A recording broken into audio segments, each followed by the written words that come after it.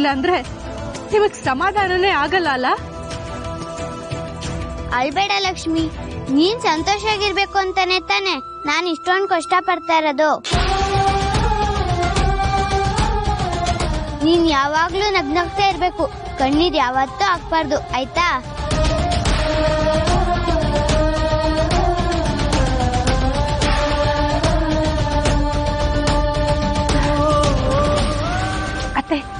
ನಿಮ್ಗೇನೋ ಕೊಡ್ಬೇಕು. ತರ್ತೀನಿ ರೀ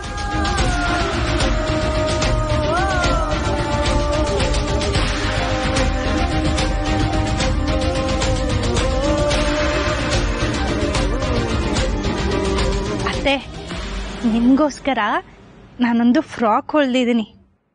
ಟಂಟಡನ್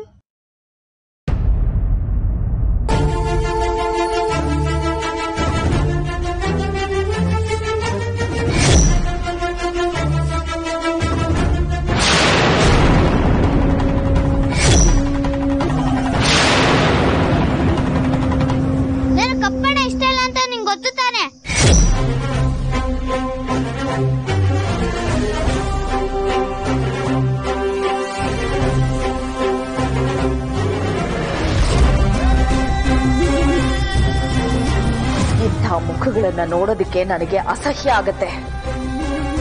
ಮೊದಲು ಈ ಕೆಲಸದವಳಿಗೆ ಚಪ್ಪಲಿ ಬಿಡೋ ಜಾಗದಲ್ಲಿರೋದಕ್ಕೆ ಹೇಳಿ. ಛೀ! ನಿನ್ನಂಥವಳನ್ನ ಮುಟ್ಟೋದಕ್ಕೂ ನನಗೆ ಅಸಹ್ಯ ಆಗತ್ತೆ. ನಿನ್ನಂಥವಳನ್ನ ನೋಡಿದ್ರೆ ವಾಕರ್ಗೆ ಬರೋ ಹಾಗಾಗತ್ತೆ.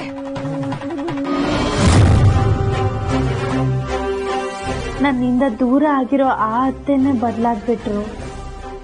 ಆದ್ರೆ ನನ್ನ ಜೊತೆ ಇರೋ ನೀವು ಯಾವಾಗ ಬದಲಾಗ್ತಿರೋ ಗೊತ್ತಿಲ್ಲ. ನನ್ಗೆ ಇಷ್ಟ ಅಯ್ಯೋ, ಅದೆಲ್ಲ ಬಿಟ್ಟಕು ಲಕ್ಷ್ಮಿ, ಇವತ್ತು ರೋಡಲ್ಲಿ ಹೋಗುವಾಗ ಒಂದ್ ಕಾರ್ ಬತ್ತಿತ್ತು ಅಲ್ಲಿ ಒಂದು ಹುಡುಗಿ ಕೂತಿದ್ಲು. ಕಪ್ಪಗಿದ್ಲು ಅವಳು ದೊಡ್ಡ ನಿನ್ ತರನೇ ಆಗ್ತಾಳೆ.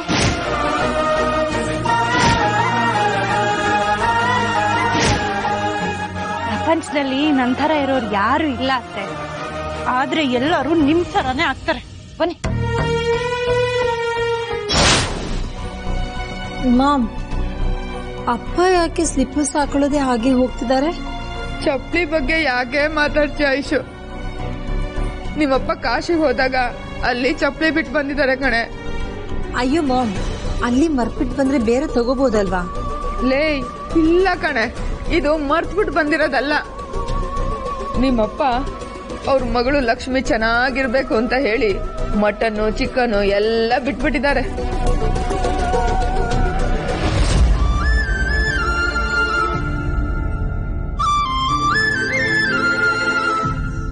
ಅದ್ರ ಜೊತೆಗೆ ಅವಳು ಸಿಗೋವರೆಗೂ ಕಾಲಿಗೆ ಚಪ್ಪಲಿ ಹಾಕಲ್ಲ ಅಂತ ಶಪಥ ಮಾಡ್ಬಿಟ್ಟಿದ್ದಾರೆ ಕಣೆ.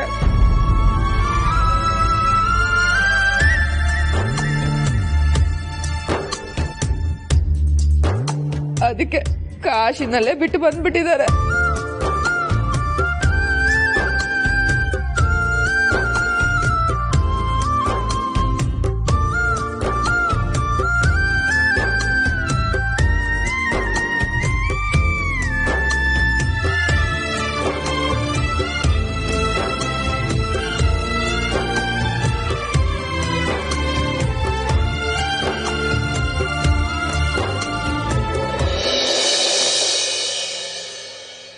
ನಾನ ನಾನ ರಜೆ ಎಲ್ಲ ಕೆಲಸ ನಡೀತಿದೆ ತಾನೆ. ನಡೀತಿದೆ ಅಣ್ಣ. ನಡೆಯುತ್ತೆ ಅಂತ ತಾನೇ ನೀನು ಇಷ್ಟು ದಿನ ಇಟ್ಕೊಂಡಿರೋದು. ನಡ್ಸು ನಡ್ಸು. ಎಲ್ಲ ಕೆಲಸನೂ ನೀನ್ ಮಾಡ್ಬೇಕು. ಅಮ್ಮ ಅದನ್ನ ನೋಡಿ ನನಗ್ ಹೊಗಳ್ಬೇಕು. ನನ್ನ ಎರಡನೇ ಮಗ ಇಡೀ ಮನೆನ ಎಷ್ಟು ಚೆನ್ನಾಗಿ ಕ್ಲೀನ್ ಮಾಡ್ಸಿದಾನೆ. ಆಗ ನಾನೇನ್ ಮಾಡ್ಬೇಕು? ಟ್ಯಾಕ್ಸ್ ಹಾಕ್ಬೇಕು. ಏನಂತ? ಪಾರ್ಟಿಗೆ ದುಡ್ಡು. ಇಷ್ಟೆಲ್ಲ ಆಗೋದು ಯಾವಾಗ ಹೇಳು? ನೀ ಓ. ಇಲ್ಲಿ ಬಂದ್ಬಿಟ್ಟ? ನೀನ್ ಕೆಲಸ ಮಾಡಿದಾಗ ಮಾತ್ರ. ಪರವಾಗಿಲ್ಲ. ಮಾಡ್ತಿದ್ಯಾ? ಮಾಡು ಮಾಡು. ರಾಜಿ ಹೇಳ್ಕೊಳಕ್ಕಾದ್ರೂ ನಾನು ಯಾವ್ದಾದ್ರು ಕೆಲಸ ಮಾಡಿರ್ಬೇಕಲ್ವಾ? ಸದ್ಯಕ್ಕೆ ಈಗ ಬಾಕ್ಸ್ ತಗೊಂಡು ಹೋಗಿರ್ತೀನಿ ಆಮೇಲೆ ಮಿಕ್ಕಿದ್ ನೋಡೋಣ. ಸರಿ ಆಯ್ತು. ಅಮ್ಮ ಬಂದಾಗ ಏನ್ ಹೇಳ್ತಿ ಹೇಳು? ಏನ್ ಹೇಳ್ಬೇಕಣ್ಣ? ಎಲ್ಲಾ ಕೆಲ್ಸಾನು ಆದಿಯವರೇ ಬೆವ್ರು ಸುಸ್ ಮಾಡಿದ್ರು ಅಂತ ಹೇಳ್ಬೇಕು. ಸರಿ ಆಯ್ತು. ಫೀಲೇ ಇಲ್ಲ ಅಲ್ವಾ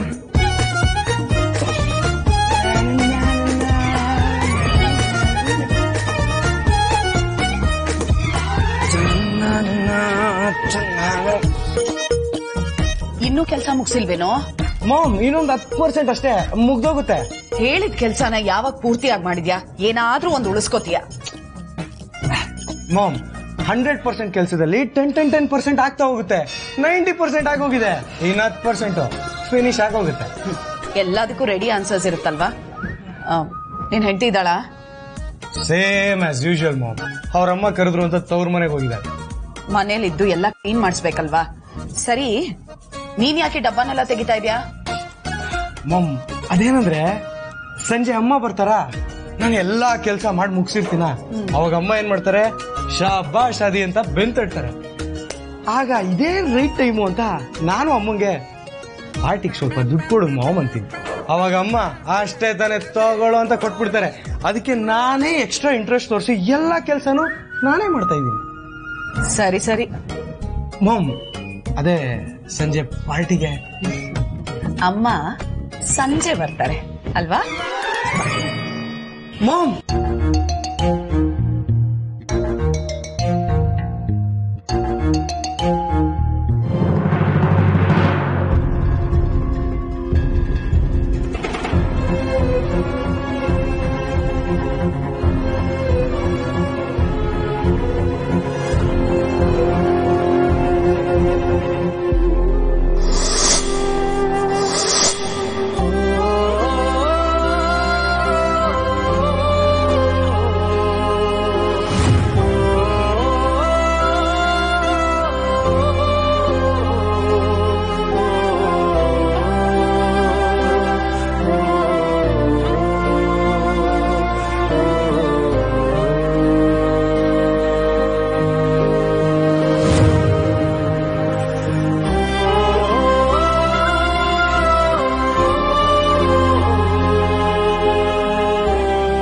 ರಾಜಿ ಬಾಯ್ಲಿ. ಅಮ್ಮವ್ರೆ ಈ ಸ್ಟ್ಯಾಂಡ್ನ ಯಾರಿಲ್ಲಿ ಇಟ್ಟಿದ್ದು? ಹಳೇದಲ್ವಾ ಅಮ್ಮವ್ರೆ? ಅದಕ್ಕೆ ಆಚೆ ಹಾಕೋಣ ಅಂತ ಇಲ್ಲಿ. ನನ್ನನ್ನ ಕೇಳಿದ್ಯಾ ನೀನು? ಅಲ್ಲಿ ಚಪ್ಲಿ ಬಿಡಬೇಡ ಧ್ರುವ.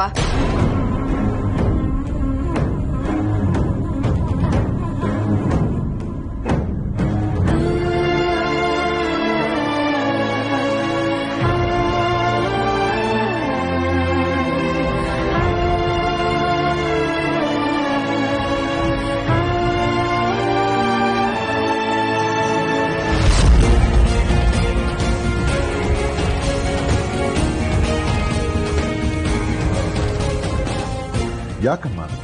ವಾದ ಮಾಡಬೇಡ ಧ್ರುವ. ಅಲ್ಲಿ ಬಿಡಬೇಡ ಅಂದೆ. ಕೆಲವು ಜಾಗ, ಕೆಲವು ವಸ್ತುಗಳನ್ನ ನೋಡಿದಾಗ ನಾವು ಇನ್ನೊಬ್ಬರಿಗೆ ಕೊಟ್ಟಿರೋ ನೋವು ನೆನಪಾಗುತ್ತೆ. ಅದೇ ವಸ್ತುಗಳನ್ನ ಮತ್ತೆ ನೋಡಿದಾಗ ಮತ್ತಿನ್ಯಾರಿಗೂ ಅಂತ ನೋವು ಕೊಡಬಾರ್ದು ಅನ್ನೋದು ನೆನಪಾಗುತ್ತೆ. ಅದಕ್ಕೆ ಆ ಸ್ಟ್ಯಾಂಡಲ್ಲಿ ಚಪ್ಪಲಿ ಬಿಡಬೇಡ ಅಂದೆ.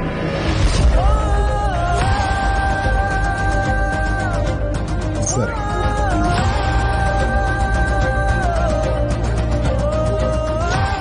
ಸ್ಟ್ಯಾಂಡ್ನ ತೆಗೆದು ಸ್ಟೋರ್ ರೂಮಲ್ಲಿಡು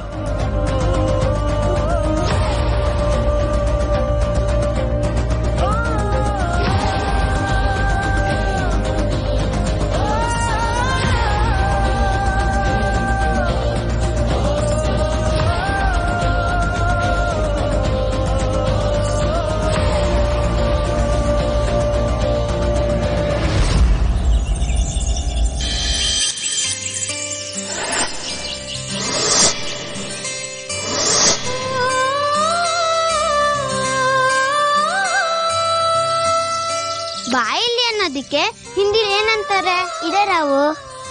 ಆ ವಾವ್ ಇದರಾವ್ ಇದರಾವ್. ಆವ್ ಆ ವಾವ್ ಇದರಾವ್. ಇದರಾವ್. ಆವ್. ಒಳಗೆ ಆವ್ ಆವ್. ಆ ಆವ್. ಒಳಗೆ ಆವ್. ಒಳಗೆ ಆವ್. ಲಕ್ಷ್ಮಿ ಲಕ್ಷ್ಮಿ.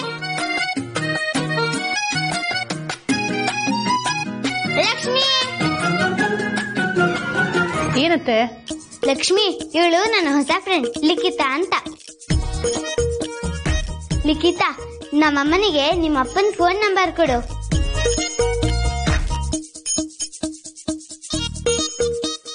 ಯಾಕತ್ತೆ ಯಾಕಂದ್ರೆ ಇವರಪ್ಪ ದುಬೈನಲ್ಲಿದ್ದಾರಂತೆ.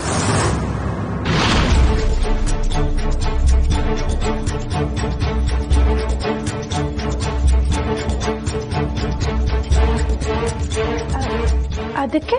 ನಮ್ಮ ಅಪ್ಪ ಕೂಡ ದುಬೈನಲ್ಲಿದ್ದಾರಂತ ಹೇಳ್ದೆ ಅಲ್ವಾ? ತಗೋ ಫೋನ್ ಮಾಡು.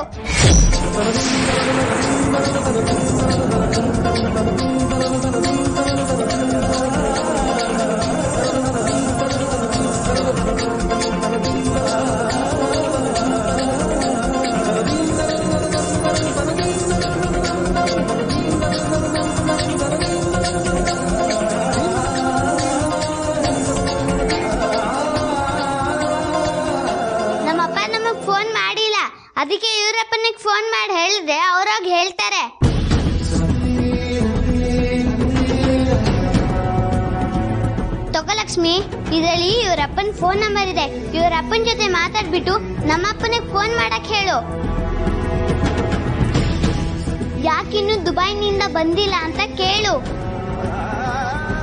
ನಾನ್ ಗಲಾಟೆ ಮಾಡ್ತಾ ಇದ್ದೀನಿ ಅಂತಾನು ಹೇಳು. ತಗೋ ಅಮ್ಮ ಫೋನ್ ಮಾಡು, ತಗೋ.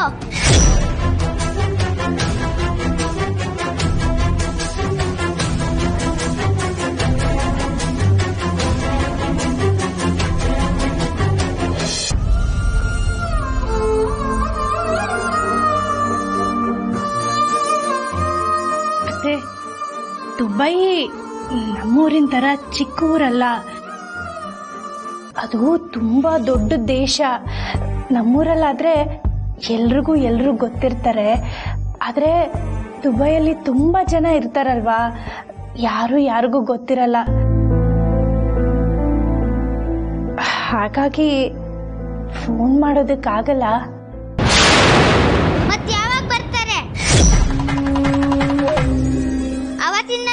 ಬರ್ತಾರೆ ಬರ್ತಾರೆ ಅಂತ ಹೇಳ್ತಾ ಇದ್ಯಾ? ಅರೆ ಒಂದಿನ ಕೂಡ ಬಂದಿಲ್ಲ.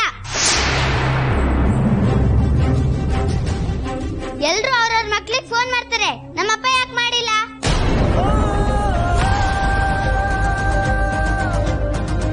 ಯಾಕೆ ನನ್ನ ನೋಡಕ್ ಬಂದಿಲ್ಲ ಇನ್ನು?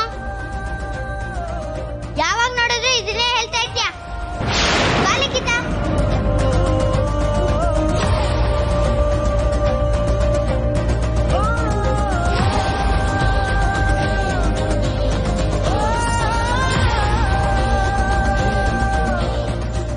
ನಿಮ್ಮನ್ನ ತನ್ನ ಮಕ್ಕಳೇ ಅಲ್ಲ ಅಂತಾನೆ ಅತ್ತೆ.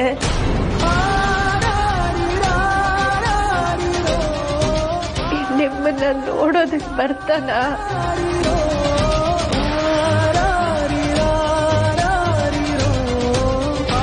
ತಂದೆನ ನೋಡ್ಬೇಕು ಅನ್ನೋ ಆಸೆಯಲ್ಲಿ ನೀವಿದ್ದೀರ? ಮಗಳು ಅನ್ನೋ ಮಮಕಾರನೇ ಅವನಲ್ಲಿ ಹುಟ್ಟಿಲ್ವಲ್ಲ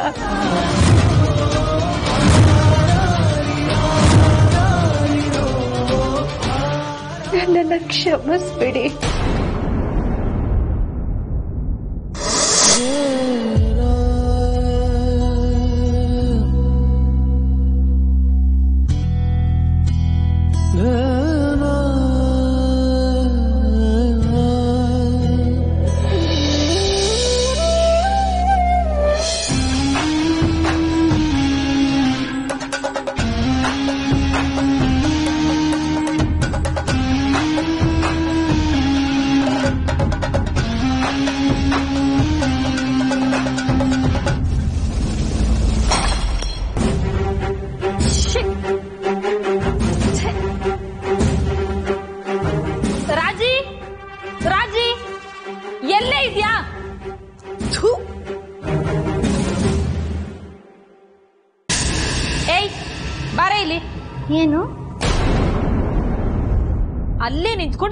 ಅಂತ ಬೇರೆ ಕೇಳ್ತೀಯ? ಬಾರ ಇಲ್ಲಿ.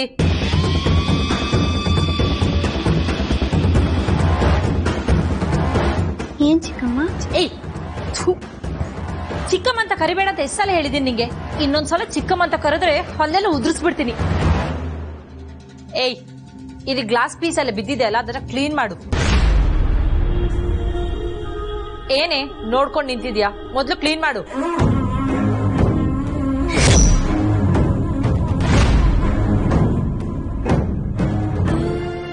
ಸರಿ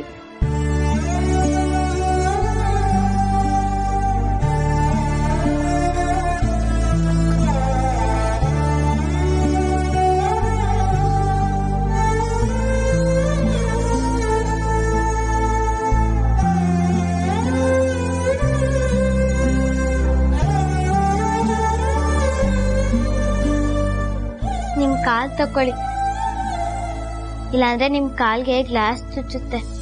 ಏಯ್ ಬಾಯ್ ಮುಚ್ಕೊಂಡು ನೀಟಾಗಿ ಕ್ಲೀನ್ ಮಾಡು. ನನಗೆ ಹೇಳಕ್ ಬರಬೇಡ.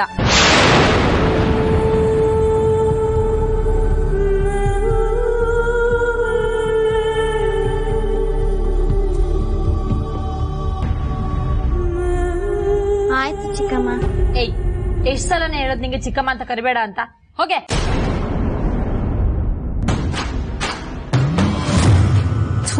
ಎಲ್ಲ ದರಿದ್ರದವ್ರೆ ಈ ಮನೆಗೆ ಸೇರ್ಕೊಂಡಿದ್ದಾರೆ. ಆವಾಗ ಲಕ್ಷ್ಮಿ ಇದ್ಲು ಅವಳು ಹೇಗೋ ತೊಲಗಿದ್ಲು. ಇವಾಗ ಇದು ಬೇರೆ.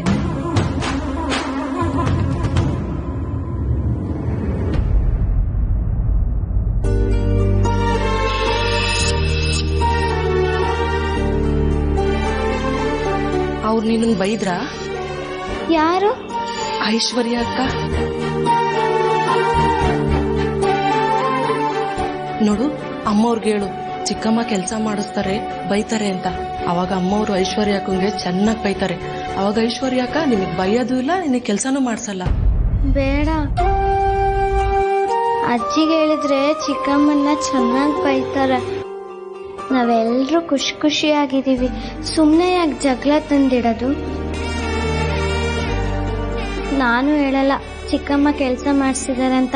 ನೀವು ಹೇಳ್ಬೇಡಿ.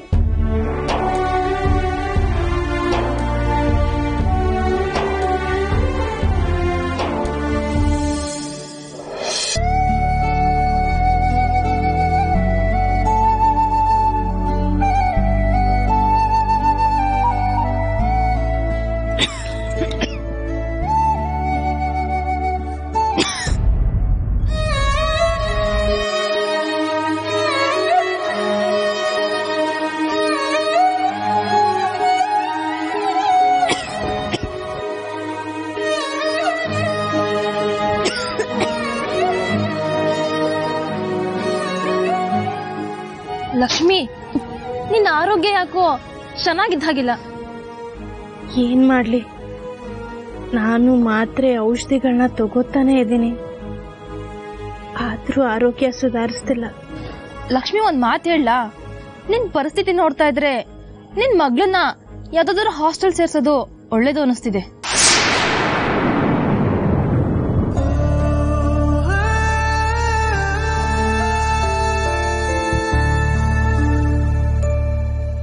ದಿನ ದಿನ ದಿನಕ್ಕೆ ನಿನ್ ಆರೋಗ್ಯ ಹಾಳಾಗ್ತಿದೆ ಹೊರತು ಸುಧಾರಣೆ ಕಾಣಿಸ್ತಿಲ್ಲ.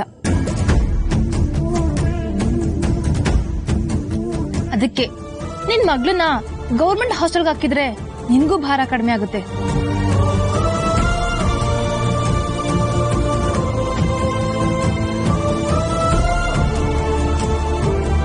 ನಿನ್ ಮಗಳಿಗೆ ಓದೋದಕ್ಕೆ ಮಾಡ್ತಿರೋ ಖರ್ಚಲ್ಲಿ ನೀನ್ ಅದ್ರ ದೊಡ್ಡ ಹಾಸ್ಪಿಟಲ್ ತೋರಿಸ್ಬೋದು. ಏನಂತೀಯ? ಇಲ್ಲ. ನನ್ಗೆಷ್ಟೇ ಕಷ್ಟ ಆದ್ರೂ ನನ್ ಮಗಳನ್ನ ನಾನು ಚೆನ್ನಾಗಿ ಓದಿಸ್ತೀನಿ.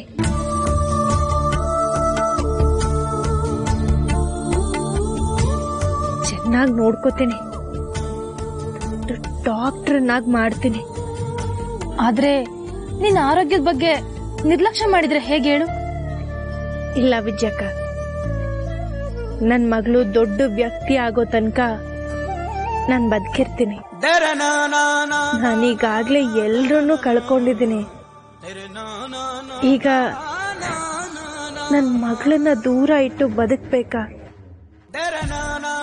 ಅತ್ತೆ ಮಲಗಿದ್ದಾರೆ ಅವ್ರ ಕಿವಿಗೆ ನಿಮ್ ಮಾತೇನಾದ್ರೂ ಬಿದ್ದಿದ್ರೆ ಅವ್ರ ಮನ್ಸಿಗೆ ಎಷ್ಟ್ ನೋವಾಗ್ತಿತ್ತು ಗೊತ್ತಾ? ನಾನು ಮನ್ಗಿಲ್ಲ ಎದ್ದೇ ಇದ್ದೀನಿ.